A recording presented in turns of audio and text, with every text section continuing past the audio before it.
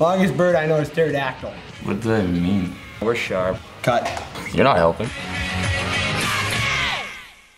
I would have to go maybe with Goody, just because he's just so into politics and it's really annoying. Ah, God. I'd say I'd say David Goodwin. Goodwin. I would definitely sure. say Goody.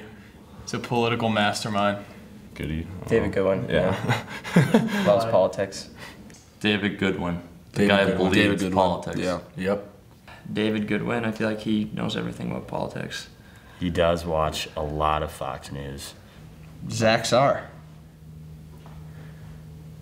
That's good. I'll say Zach Saar probably. Seems like he knows his stuff and he's an intimidating guy, so I'd be on his side.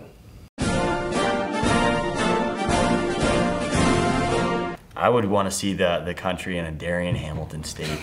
just he's Canadian, but the guy is just very passive and just is all about just being nice to people. So maybe it would rub off. That's a good answer.